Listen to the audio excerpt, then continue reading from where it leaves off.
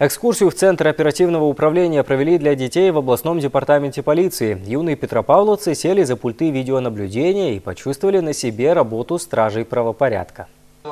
С начала года на дорогах Петропавловска с помощью камер Центра оперативного управления стражи порядка выявили больше 6 тысяч нарушений. Чаще всего фиксируют разговор по телефону, непристегнутый ремень безопасности, переход дороги в неустановленном месте. Задача профилактической экскурсии – призвать детей к строгому соблюдению правил дорожного движения, продемонстрировав им работу Центра. Сегодня с учащимися городских школ города Петропавловска э, в здании департамента полиции, в частности э, в Центре оперативного управления была проведена экскурсия, где сотрудники полиции детям разъясняли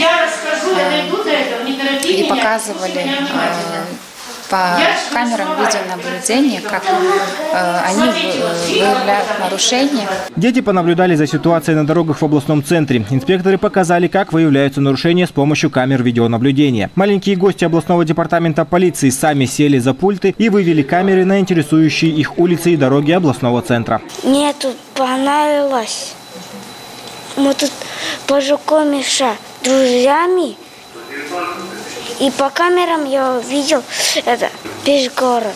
Я вырасту, хотел стать военным. Познавательно-профилактический вояж завершился в музее областного департамента полиции. Также познакомились маленькие участники дорожного движения с правилами регулировщика. Стражи порядка уверены, такие уроки будут способствовать укреплению дисциплины на дорогах и снижению детского дорожно-транспортного травматизма. Илья Кудряков при содействии пресс-службы областного департамента полиции.